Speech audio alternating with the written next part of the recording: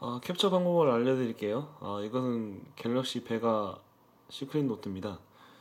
옆에 있는 버튼이 이제 볼륨 키고요. 이제 여기 위에가 전원 키고요. 여기가 이제 홈 키입니다. 이제 간단하게 이제 캡처를 하려면요. 어, 볼륨 아래 키를 누를 준비를 하고요. 그리고 전원 키를 누를 준비합니다.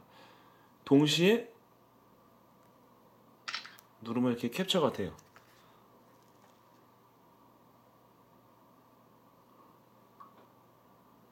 이렇게요. 다시 한번 보여드릴게요. 볼륨 아래 키와 전원 키를 동시에 누릅니다.